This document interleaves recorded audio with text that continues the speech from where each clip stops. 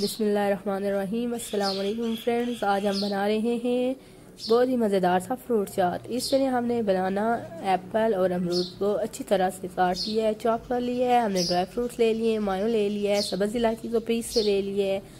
दो तीन सब्ज़ इलायची हमने लिए हैं और हमने इसके अंदर चीनी थोड़ी सी लेनी है। दो चम्मच चीनी हमने ले ली है।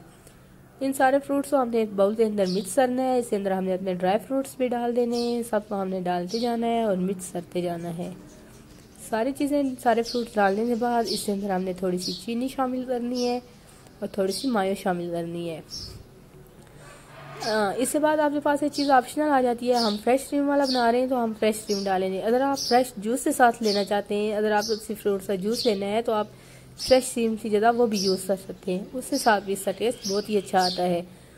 जैसे आप मैंगो जूस ले सकते हैं एप्पल जूस ले सकते हैं, वो ले आप फ्रेश क्रीम की जगह वो यूज़ करें, वो भी बहुत अच्छा टेस्ट आएगा। मुझे उम्मीद है आपको आज की रेसिपी ज़रूर पसंद आएगी। बहुत ही मज़ेदार और बहुत ही डिलीशियस सा चाट हमारा तैयार हुआ है। उम्मीद है आप वीडियो ज़रूर लाइक करेंगे और चैनल को